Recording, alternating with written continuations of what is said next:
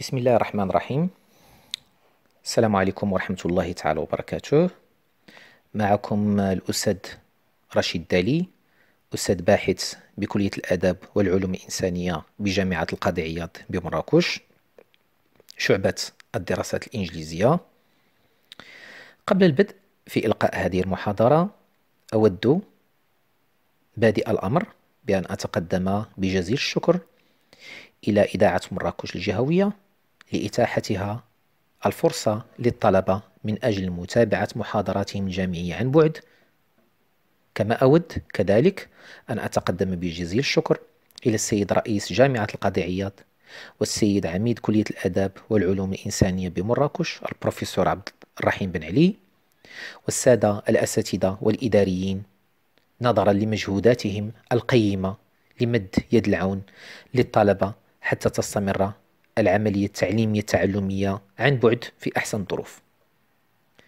وأتمنى من الله العلي القدير أن تتعافى بلادنا من هذه الجائحة في أسرع وقت حتى تعود الأمور إلى ما كانت عليه ويعود الطلبة إلى مدرجاتهم وأقسامهم.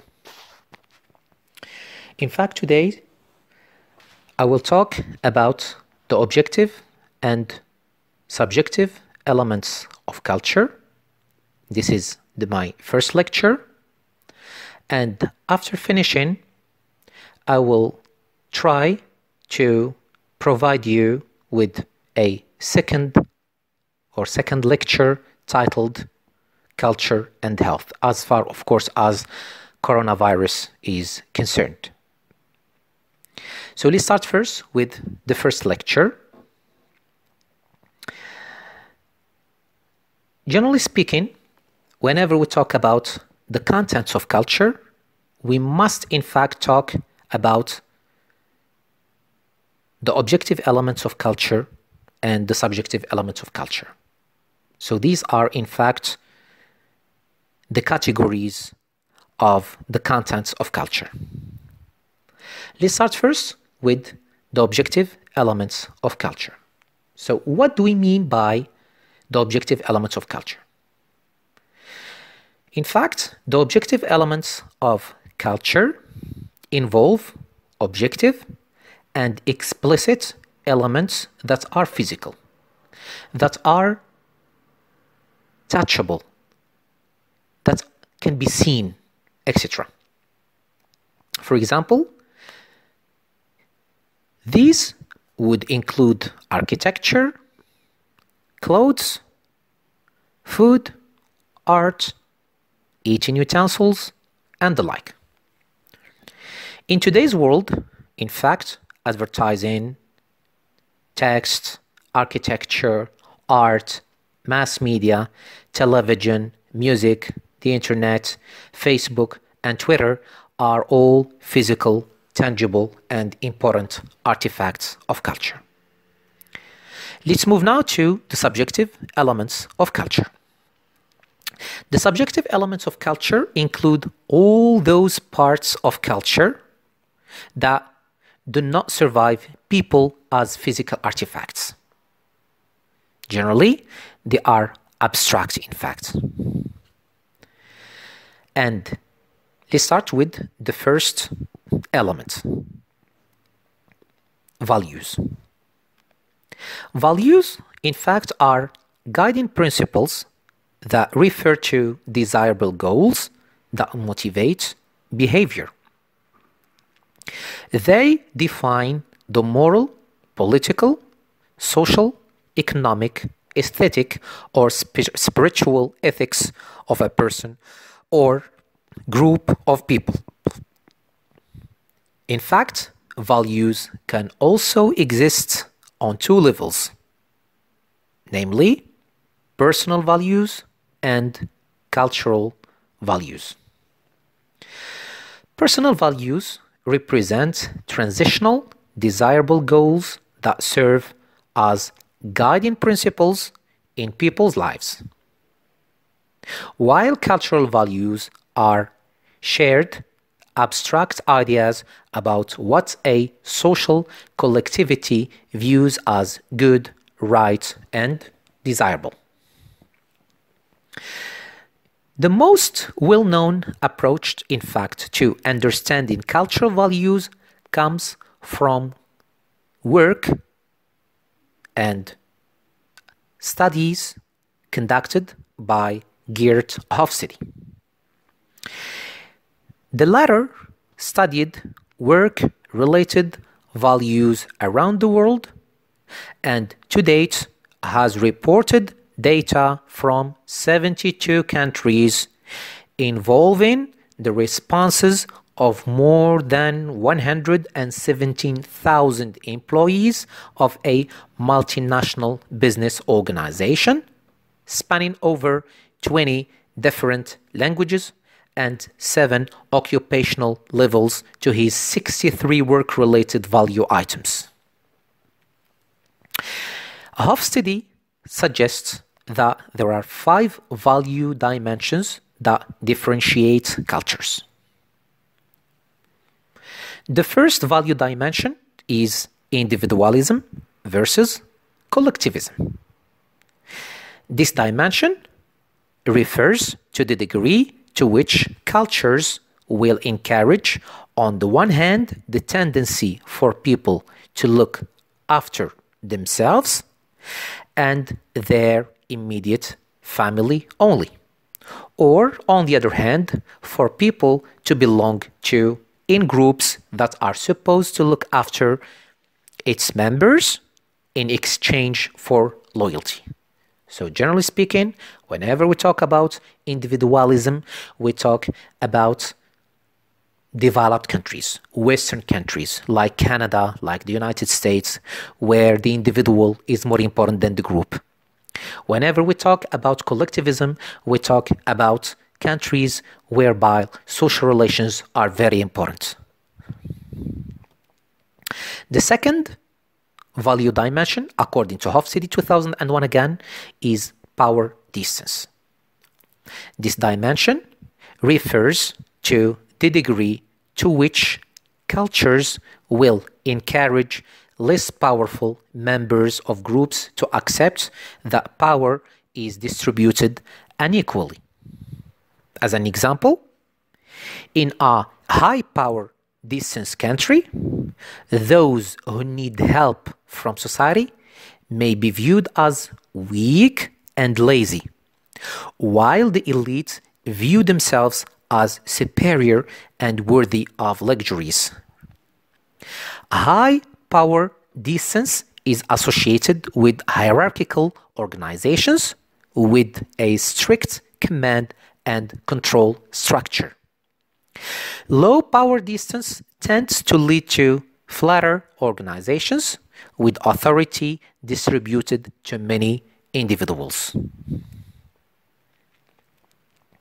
High power distance is associated with concentrated decisions making or decision making, whereby leaders don't ask for the opinions of subordinates, and subordinates rarely challenge leadership decisions. In a low power distance setting, leaders carefully communicate their plans to seek acceptance and engagement from the group. The third value dimension is uncertainty avoidance. In fact, this dimension refers to the degree to which people feel threatened by the unknown. They hate the unknown and they try to avoid it. Or ambiguous situations and have developed beliefs, institutions, or rituals to avoid this uncertainty. The fourth dimension or value dimension is masculinity versus femininity. This dimension is featured on one pole by success, by money, and things, and on the other pole by caring for others and quality of life. It refers, in fact, to the distribution of emotional roles between males and females. The fifth dimension is egalitarianism. The degree to which cultures emphasize transcending selfish interests in favor of the voluntary promotion of the welfare of others. It fosters equality, social justice, freedom, responsibility, and honesty. Another dimension is harmony, which is the degree to which cultures emphasize fitting in with the environment. It fosters unity with nature, protecting the environment, and a world of beauty. Now, let's move to the second element in subjective cultures, which is beliefs. It's important, of course, to provide a definition germane to beliefs. A belief is a proposition that is regarded as true.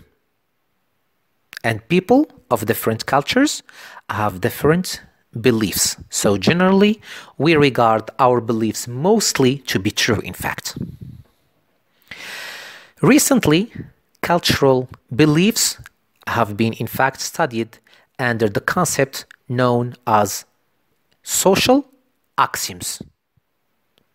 These social axioms are general beliefs, in fact, about oneself, the social and physical environment, and the spiritual world. Now, the third element is norms. Norms are generally accepted standards of behavior for any cultural group.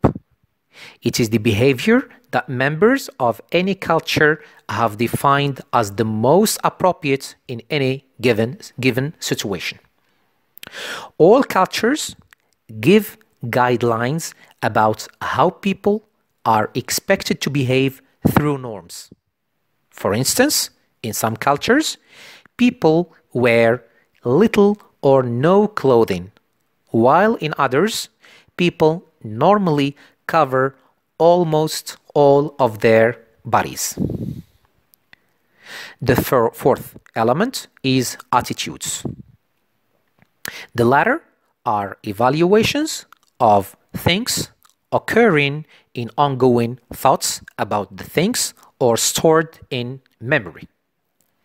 Examples include believing that democracy is the best form of government.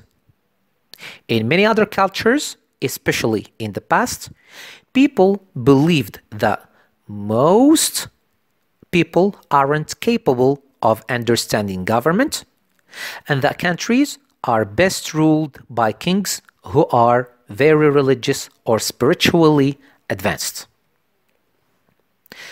The fifth element is worldviews. Cultures also differ importantly in cultural worldviews, and these are culturally specific belief systems about the world. They contain attitudes, beliefs, opinions, and values about the world. They are assumptions people have about their physical and social realities. For example, the American culture fosters a worldview centering on personal control, that you are in control of your life, destiny, and happiness. Many other cultures do not foster this worldview. Instead, one's life may be in the hands of God, fate, or super or the supernatural. Now, let's move to understanding culture in perspective. And here we'll start first with universals and culture specifics. And it's important, of course, here to shed light on two crucial concepts etics. It's E T I C S, not ethics with T H. So we have etics and emics. Cultural psychologists, in fact, have a vocabulary for talking about universal and culture specific psychological processes. Etics refer to those processes that are consistent and similar across different cultures. That is, etics refer to universal psychological processes. Emics refer to those processes that are different across cultures. Emics, therefore, refer to culture specific processes. Berry, 1969, was one of the first to use these linguistic concepts to describe universal versus culturally relative aspects of behavior. Although we are all born with the same toolkits, in fact, our cultures help to shape those toolkits and inform us about how we use the tools. So we can all make sounds, but cultures teach us how to shape those sounds into words and how to arrange those words into the different languages we humans speak. We all have emotions, but cultures tell us what to become emotional about and what to do about it when we are emotional. We all have a sense of morality, but cultures differ on what is right and wrong, good and bad. Thus, culture influences how we communicate, how we think, how we make decisions, how we plan for the future, and how we solve our problems. It dictates about politeness and etiquette. It defines religion and taboos. Because cultures exist in different regions of the world, they all do these things differently. That's why we see cultural differences in these emics. Basically, people around the world are very similar in their basic needs to get along, find a mate, achieve goals, and carry out the basic functions of living. Cultures find ways to allow people to address those needs. Because cultures exist in different regions of the world, with different histories, they often find different ways to address those same needs. Now, it's time to move to the second lecture, which is titled Culture and Health. So, before tackling culture and how it influences health, health and disease processes, First, we need to examine exactly what we mean by health.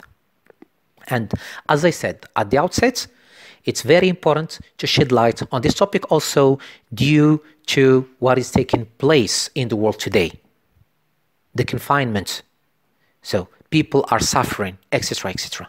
So, that's why it's really important and it's crucial to shed light on this topic as well. More than six years ago, the World Health Organization developed a definition at the International Health Conference. In fact, defined health as a state of complete physical, mental, and social well being, and not merely the absence of disease or infirmity. Between brackets, infirmity means illness. This is, of course, the definition of World Health Organization. Concepts of health may differ not only between cultures, but also within a pluralistic culture such as the United States or Canada. Mulatto and Berry, 2001, cite the example of Native Americans who, based on their religion, have a holistic view of health and who consider good health to be living in harmony with oneself and one's environment. Uh, Yurkovich, 2008, point out that while the World, World Health Organization definition of health includes physical, mental, and social well-being, spiritual well-being is not mentioned. So spiritual, the spiritual well-being is also very important. In Native American cultures, however, spiritual well-being, feeling connected to and in balance with the spiritual world is a cornerstone of, of good health. Now, let's talk or let's move to sociocultural influences on physical health and disease. And we'll start first with cultural dimensions and diseases. In fact, Marmot and Syme, 1976, studied Japanese Americans and the contribution of cultural lifestyles to the development of heart disease. They classified 3,809 subjects into groups according to how traditionally Japanese they were. Of course, here we're talking about uh, speaking Japanese at home, retain traditional Japanese uh, or retaining traditional Japanese values and behaviors and the like. They found that those who were the most Japanese had the lowest incidence of coronary heart disease, comparable to the incidence in Japan. The group that was the least Japanese had a three to five times higher incidence. Triandis et al. 1988 took this finding one step further using the individualism collectivism cultural dimension and examining its relationship to heart disease across eight different cultural groups. European Americans, the most individualistic of the eight groups, had the highest rate of heart attacks. Trappists, monks, who were the least individualistic, had the lowest rate. Triandis et al. 1988 suggested that social support or isolation was the most important factor that explained this relationship. In fact, to simplify it, people who live in more collectivistic cultures may have access to stronger and deeper social ties with others than do people in individualistic cultures. These social relationships in turn, are considered a buffer against the stress and strain of living, reducing the risk of cardiovascular diseases. Still, this study is limited in that they have focused on only one, on one aspect of culture, which is individualism versus collectivism ignoring other factors such as power distance, uncertainty avoidance, masculinity versus femininity, etc. Matsumoto and Fletcher 1996 investigated this possibility by examining the relationship among multiple dimensions of culture and multiple disease processes. Obesity is another health problem that was studied by a number of scholars from different countries around the globe. These scholars, in fact, wanted to demonstrate and reveal the relationship between obesity and between culture to illuminate in certain cultures, beauty is directly related to obesity, while obesity is considered as a disease in certain cultures. Um, finally, I would like to thank you for your attention So thank you again. Bye.